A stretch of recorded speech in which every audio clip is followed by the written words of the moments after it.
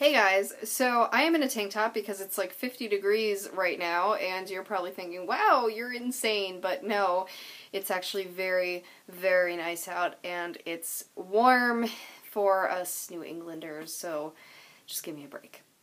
I'm also wearing more jewelry than normal. It's just one of those kind of days. But basically, I have no makeup on because, if you see by the title of this video, I'm assuming that's why you're here, right? It's that we are going to be doing how to not look sick when you are sick. I am not sick right now. However, I do look very pale because it's winter. But anyways, I'm not sick, but I actually thought of this a few weeks ago when I was sick. Basically, I had an attack of the sniffles again a few weeks ago. I literally had to bring my Puffs Plus lotion uh, tissue box to my classes because, you know, the little packets do nothing when you're going through tissues like, you know, like a teenage boy. So, yeah, that was interesting. But I have seen a lot of these kind of videos, um, you know, in my subscription feed, and very good for those women that are motivated to put on a full face of makeup when you're sick. Great for you, that's not me. I personally have zero motivation for any kind of makeup when I am sick. So basically, I'm going to show you what I actually in reality did when I was this sick. You know, I could barely get to class, but I was like, well, I want to do something and see what realistically I feel like doing. So I'll show you that and I'll show you a couple things you could also add that are very quick and easy. This whole look will take you like two minutes or less, guaranteed.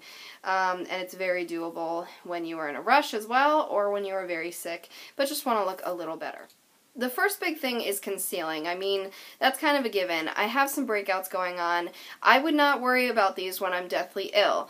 The biggest thing that I would worry about is my under eye circles, and I had recently gotten this L'Oreal CC concealer, and it's really nice for just a little bit of coverage. It's really like it has a roller ball that makes it feel really cooling.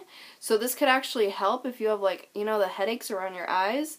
And um I don't know, I just I like how it feels and I like how it looks. You know, I I wear this a lot on its own. I will literally just put this on and go out the door if I just want to conceal a little bit. It's a nice everyday concealer. Look at how brightening that is. So this will conceal your dark circles a little bit. You're not going to look like you just put on a full face of makeup, but, you know, it'll conceal slightly, help a little bit, and it'll brighten up the under eye area as well.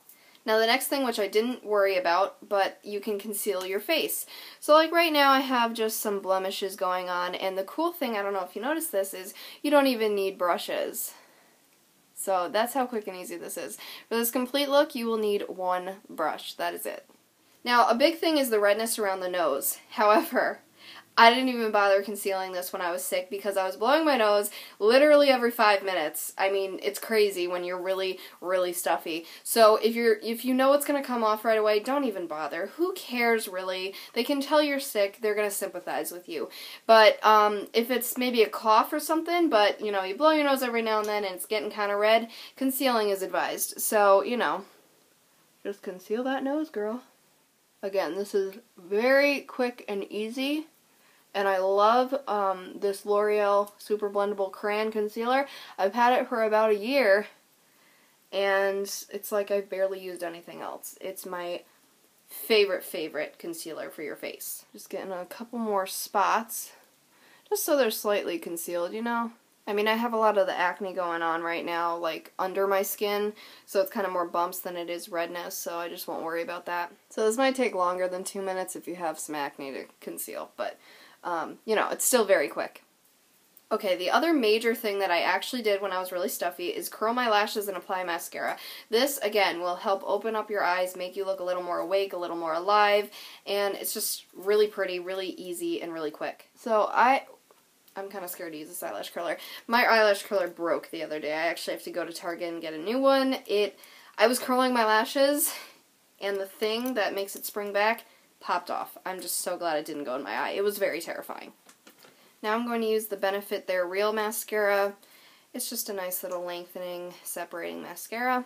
I would do my lower lashes, however, I'm not going to. And that's just because my eyes were really watery that day. They usually are when you have a cold, right? So, again, I don't want to deal with smudging and running mascara. I'm already sick enough.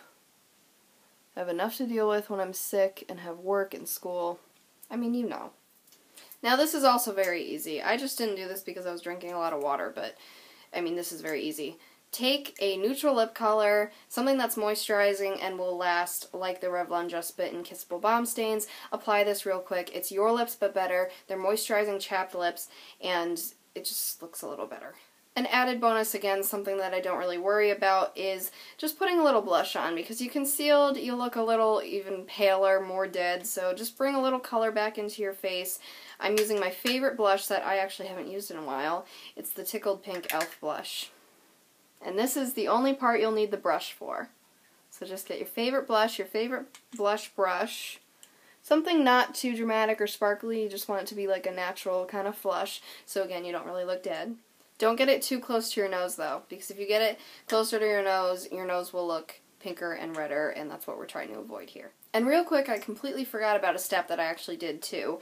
Um, I'm going to use the Painterly Paint Pot from MAC. This will conceal my, you know, darker, shinier eyelids to just, again, make it look like I'm less sick. And the cool thing is, this is like a shadow in itself, so you don't even need to put anything over it. It'll set by itself, and it looks completely natural. Usually I would do that before mascara, but I forgot. so that's the complete look, guys. That is literally the most I would probably ever do when I am actually very sick. But I hope you can see a big difference. I definitely do. Um, my eyes just, it looks better below and above my actual eyes. You know, they just look healthier and happier and more awake. And then, you know, I brought some life back into my skin with the blush. The lips, very easy, very simple. Um, yeah, so I hope you guys enjoyed this and it was helpful. Please give it a big thumbs up if you did enjoy it and you think that you could manage something like this when you are sick because I know I definitely would not do any more than this when I'm deathly ill. When my nose is running, when I'm sneezing, um, you know, have a, a terrible migraine or even worse, vomiting, God forbid, whatever's going on looking glamorous is your the least of your worries. So just drink lots of water, rest when you can, and get well soon. So I hope you guys are doing well and you're not terribly sick and you don't have the flu or anything bad like that. And uh, yeah, thank you so much for watching and I hope you guys enjoyed this and I will see you in my next video. Bye.